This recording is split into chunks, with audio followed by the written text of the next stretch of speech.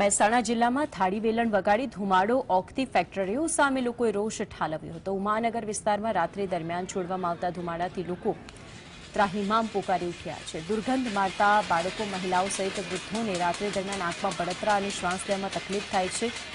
આ સમસ્યાઓના કારણે તેમણે પોતાનો રોષ ઠાલવ્યો. ગ્રામજનોએ અનેકવાર રજૂઆત કરવા છતાં કોઈ પગલાં નથી લેવાયા.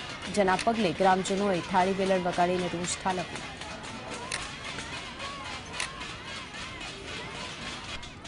મારા બાળકને કાલ રાતે બહુ અમીટો થયા, શ્વાસના હિસાબે શ્વાસ લઈ નહીં શકતો હવે મહિના પહેલા દાખલ કર્યો, શ્વાસની બોટલ નાશ લેવડાયા.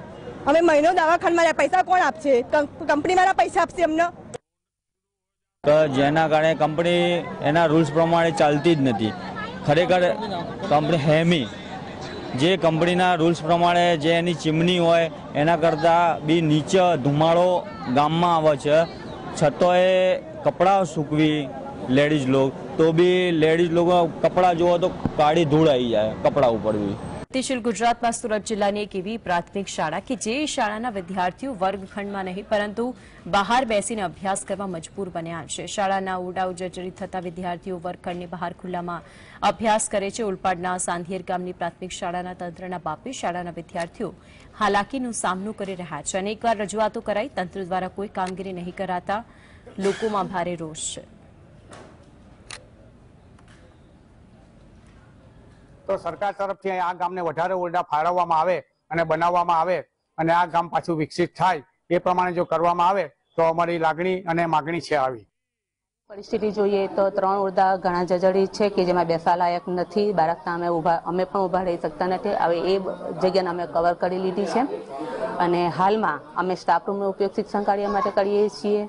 બાર રોટલા પણ મધ્યાહન સેડમાં એક એક વર્ગ અને અવારનવાર ત્રણથી પાંચના ધોરણના બાળકો પોતાના ક્લાસ બદલીને અમે શિક્ષણ કાર્ય કરીએ. માનામાં લગભગ દરેક વ્યક્તિની લાઈફમાં વધતા ઓછા અંશે સ્ટ્રેસ જોવા મળે છે. સ્ટ્રેસ સ્વાસ્થ્ય પર ગંભીર અસર કરે છે, ત્યારે સ્ટ્રેસને દૂર કરવા રિલેક્સેશન તેમજ થોડું ચેન્જ જરૂરી છે. આ બાબતને ધ્યાનમાં રાખીને ફિક્કી દ્વારા એક ખાસ કાર્યક્રમનું આયોજન કરવામાં આવ્યું, જેમાં જાણીતી એક્ટ્રેસ શિલ્પા શેટ્ટી હાજર રહી.